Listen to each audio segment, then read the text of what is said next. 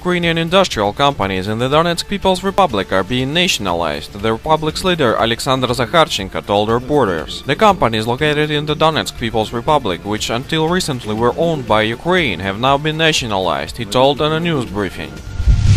The Russian Ministry of Foreign Affairs has stated that the US maintains a policy of exacerbated relations with Russia. The US and the European Union have openly encouraged the unconstitutional coup in Kiev and the actions of nationalist forces who came to power there and then launched a military campaign and strangled socio-economic assets of the southeastern part of the country. This policy has caused thousands of dead and wounded, hundreds of thousands of refugees and internally displaced persons, plus the destructions of the social and economic infrastructure the MFA of Russia states.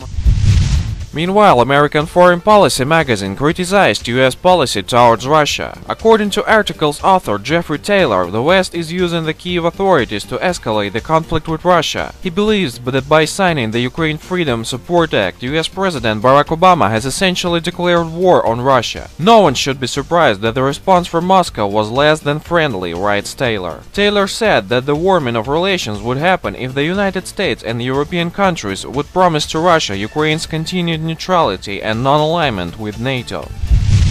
The US-led coalition in Afghanistan formally ended its combat mission on Sunday, more than 13 years after an international alliance forces invaded country. But all that is only on paper. Same time, about 13,000 foreign troops, mostly Americans, will remain in the country under a new two-year mission named Resolute Support. We remember the Taliban have launched increasingly deadly attacks in the past year. Nearly 3.2 thousand Afghan civilians were killed in the conflict between the militant group and the army in 2014 and more than 3,500 foreign soldiers died in Taliban attacks since 2001. 13 years of US combat missions ended in failure. Chaos and war continues in Afghanistan.